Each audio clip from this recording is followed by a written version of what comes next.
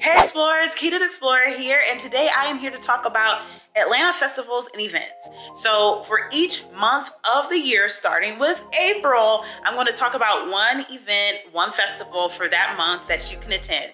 I may mention other festivals or events for each month, but they will not be highlighted. So if you are looking for something to do in May, June, whatever month, you can go down below to the chapters and click on that month so you can go and hear what's happening or what usually happens with festivals and events for that month. But please keep in mind, okay, please keep in mind that festivals and events can change months. So you wanna make sure you look that up for the current year before you just show up thinking that that is the correct date. Because all this stuff I had to film for the last 12 months of the year. So let's get into today's video about Atlanta festivals and events. And before we do, please make sure you hit the subscribe button and a notification bell. It is free for you to do so and it helps me provide more and better content to you in the future. And if you're already subscribed, thank you so much. I truly appreciate it. Now for real, let's talk about these Atlanta festivals and events. First off, let me highlight the Atlanta Dogwood Festival, which takes place at Piedmont Park. It is a free festival, and you get to enjoy a lot of different arts and crafts, food, as well as kids' activities like this puppet show.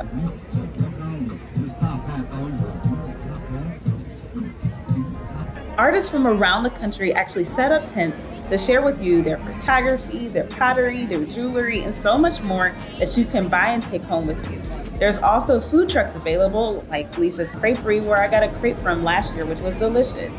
And besides the kids park, you can actually go out and sit on the lawn and listen to musical performances. So bring your tent, your towel, your chair, whatever, and enjoy the day.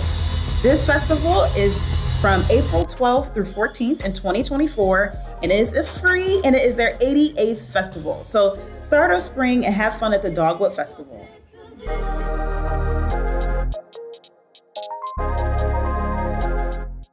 For May, we are back at Piedmont Park for the Atlanta Jazz Festival.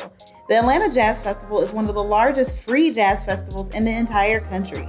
It is an annual celebration of the music, culture, and art of jazz. Its mission is to expose and entertain a diverse audience of jazz aficionados, young jazz enthusiasts, and aspiring musicians. They have a great lineup this year, which is Memorial Day weekend, May 25th through the 27th of 2024. And actually, on Monday, Andre 3000 is pulling out his flute for the Jazz Festival. So head on over. You can bring your tent, but you have to sit beside behind a certain area. If you have a tent, bring your chair, bring your your towel, go to a VIP area if you buy that ticket and enjoy a weekend full of jazz. And also, they do have a lot of food trucks as well as vendors to enjoy while you're there.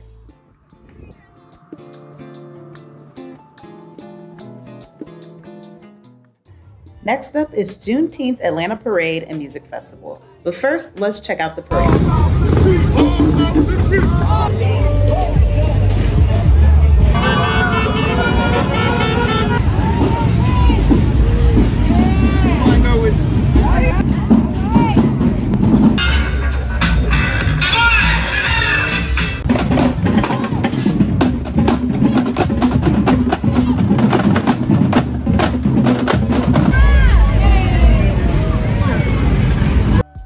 Now that we've enjoyed the parade, let's talk about this Juneteenth festival. This year in 2024, Juneteenth will be held June 21st through the 23rd, and it will be at Piedmont Park instead of Centennial Olympic Park, which it was last year. It is free to enter, and they have a lot of live performances, various stages, a lot of different activities. Last year, they had this painting activity that we could do for free.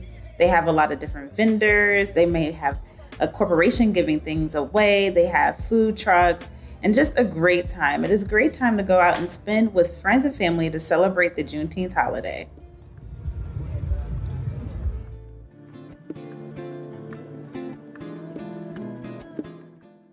Next up in July is the Attack of the Killer Tomato Festival. Last year it was held at the West Side Provisions District. Later in July, they have not released the dates and information for 2024 yet, so stay tuned. But when you buy a pass to go to this festival, it includes tasting and beverages featuring tomatoes in all type of ways. So you're going to be full when you leave this festival.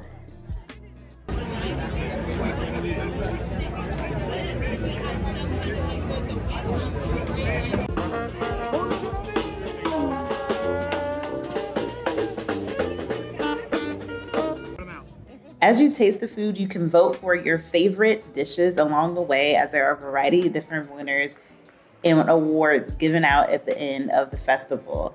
The event is hosted by Georgia Organics and celebrates delicious farmer champion partnership between the organic farmers and the culinary teams who make local ingredients shine.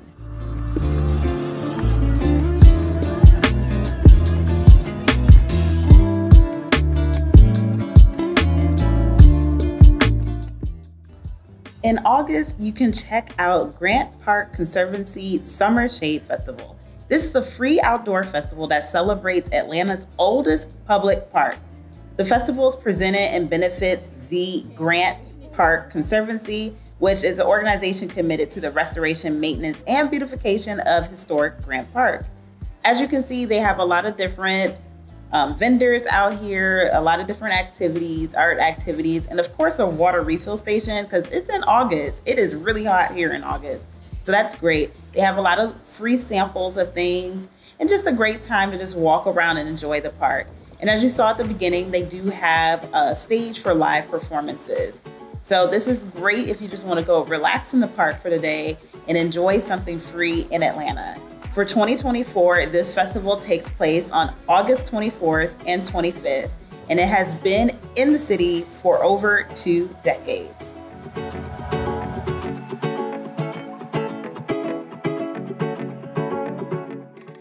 For September, we are back in Grant Park for House in the Park.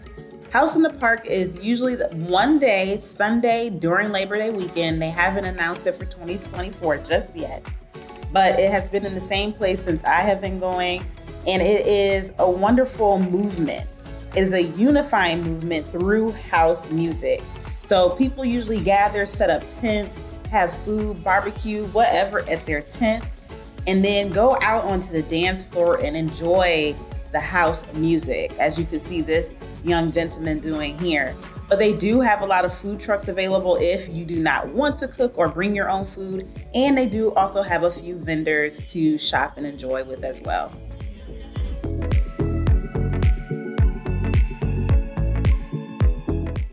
Now, in October, you should check out the Atlanta Mimosa Festival. Last year, it was at the historic Fourth Ward Park, and they haven't announced this year's date. When you buy a ticket to the festival, it includes bottomless drinks, so you can go and try out the different mimosa flavors as you go, as I'm doing here. While you're at the festival, they have a lot of local vendors, which I ended up buying one of these candles and it is still going and it smells really good. You also have a lot of people there enjoying the DJ on stage. There is a silent disco party. There are food vendors, but there's not that many, so the lines can be long. But this is definitely a great thing to check out and have a good time in October.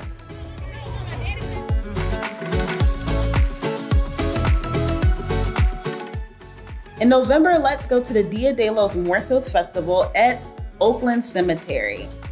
Last year, this festival was on November 5th, but the actual holiday, Dia de los Muertos, is celebrated in Mexico on November 1st and 2nd of every year. So you want to check to see when they're actually going to hold the festival for 2024 because they have not announced that date yet. The event is free, yes, free 99, and it is organized by the Consulate General of Mexico in Atlanta and Institute of Mexican Culture. During this event, your friends and family can enjoy dancing, music, entertainment, traditional foods, crafts, face painting, and so much more. It's such a good time, and seeing all of the altars decorated for the festival is just so amazing. I really enjoyed checking out this festival. If you do go, parking by the cemetery is horrific.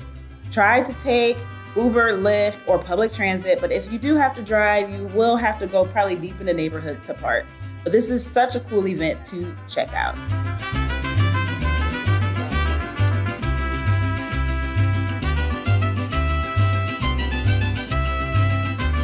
Of course, you can't get past the Christmas season without a wonderful Christmas market. The Atlanta Christkindl Market has been in the city for seven years and it is a great experience for the magic of the holiday season. And it is kind of like a fusion of traditional German festivities. So, you know, if you go to Europe, you always run into lovely Christmas markets, and this is what you will have here. You get wonderful culinary delights at this festival, as well as handcrafted treasures that you could take home to give as gifts. So definitely enjoy some time at the Christkindl Market. It is located in Buckhead Village. And so if you go there, you can park at the parking garage at Buckhead Village or find street parking. It is free to enter, but obviously you have to pay for your treats, snacks, and or gifts while you're there. They got all kind. They got raspberries. They got strawberries in the back. What's this one? Yeah. What's? Oh, that's peach almond. Oh, I have that. Blue vine, please. Blue vine coming up. Yeah.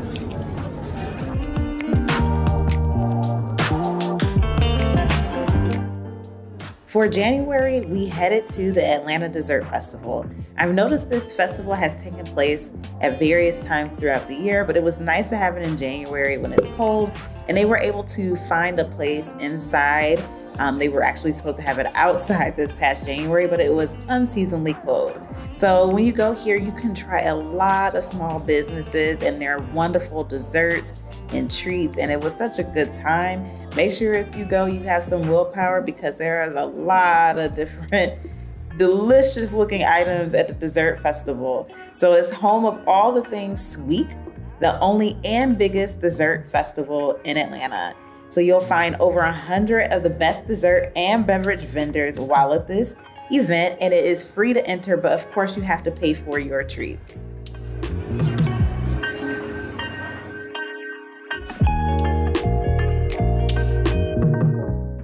Time for the festival of this month, which is Oyster Fest. The Oyster Fest is located in Midtown near the Steam House Lounge, and it has been operating for 36 years as of 2024. You can get an oyster bucket or you can go around to the different vendors and get already prepared oysters if you don't want to shuck them, which I'll talk about in a moment. But you enjoy live music and a good time on a weekend in February. Okay, I am, and I keep looking down because like there's some unstable parts of the sidewalk, but I'm leaving the Oyster Fest. That was an experience having to shuck the oysters, and it was such a big basket of oysters. Obviously, you can eat all of them, but it takes so much time. I would not get the basket again. I would just go and like get oysters or food from a booths and like alcohol, whatever. But that was a cool experience. I heard the oysters came from coast of Alabama. I'm not too sure though. Um, a cool experience if you're into seafood and just want a nice little outing for the weekend.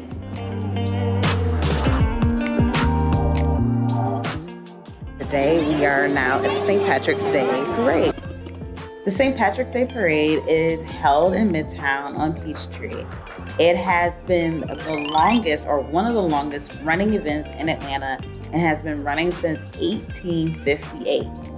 The parade hosts around 750 musicians and dancers, and as you can see, there are bands and performers from around the country, not just Atlanta. You'll see over 2,000 participants and about 100 parade units. It is such a good time for friends and family. It's a free event, but just get down early so you can find appropriate parking. It is recommended to take public transit or ride sharing to this event, but if you have to, there is parking at Colony Square as well as near the Art Museum. But this was such a fun time. Like, look at the Star Wars, there was the llamas, there was a lot going on in this parade.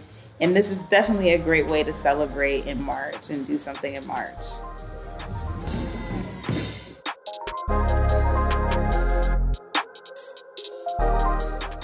Right, explorers, I hope you enjoyed this video. April through March, and I, I picked April because that's really when like outdoor festival activities start to really ramp up in April. So that's why I picked April, and it's my birthday month, so why not start with April for the beginning of my 12 month Atlanta Festival and Events video. So if you enjoyed this video, please make sure you hit that like button. Please don't forget to subscribe and hit the notification bell. If you have any questions or comments, please leave that down below in the comment box, but keep it classy. Um, make sure you share this video with your friends, family, and social media networks. If you love to support my business even further, you could check out my merchandise shop or my blog to help my small business. Thank you so much for watching. Have a great day or night wherever in the world you are. Bye.